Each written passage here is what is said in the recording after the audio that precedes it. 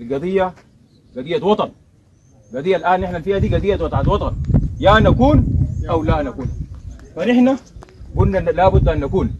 إذا كل كل الشعب السوداني اصطف خلف قواته المسلحة ويعمل تحت راية القوات المسلحة والقوات النظامية الأخرى في القتال هذه المرتزقة التي جاءت من كل دول أفريقيا حتى تهدم وتفجر الشعب السوداني وتهدم البنية التحتية حقته.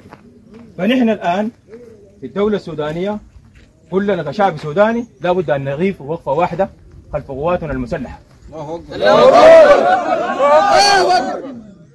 فأن نحن الآن الناس شاهدت الحاجات اللي تمت في قرى الجزيرة. دي حاجة ما بتشبه الشعب السوداني.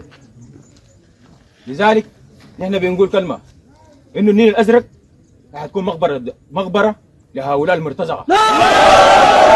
النيل الأزرق إحنا كل مرة يهددوا إنه جايين النيل الأزرق.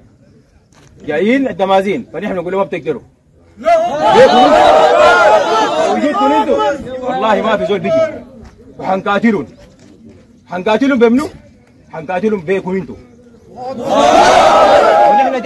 الامرض ونحن كلنا بنعمل تحت امرض القوات المسلحة. يا جماعة نحن عندنا جيش قومي جيش له. عنده قوانينه. جيش يحتر... جيش من الشعب السوداني. فما ما إحنا ما بنلعب.